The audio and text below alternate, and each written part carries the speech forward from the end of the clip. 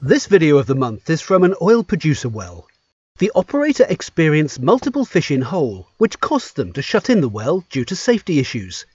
To investigate further, the client decided to deploy EV's Optis HD E-line camera on an electric line unit, enabling high quality video to be acquired in real-time mode.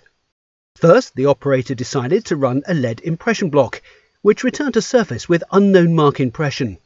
After seeing the impression, the operator was not satisfied the results were conclusive and wanted a visual answer to identify what the obstruction was downhole. EV were called in as an urgent service to give a clear answer. EV's HD electric line camera images up to 25 frames per second in real time, offering a high level of visual detail and a clear understanding of downhole wellbore issues. The video footage clearly shows the first top of rope socket stuck on the tubing wall. High quality down view video instantly showed oil bubble flowing up at the high side of the tubing. Then the camera was able to pass through the first rope socket and observe the second fish in the middle of the tubing. Motor section was activated to get the better view of the second rope socket.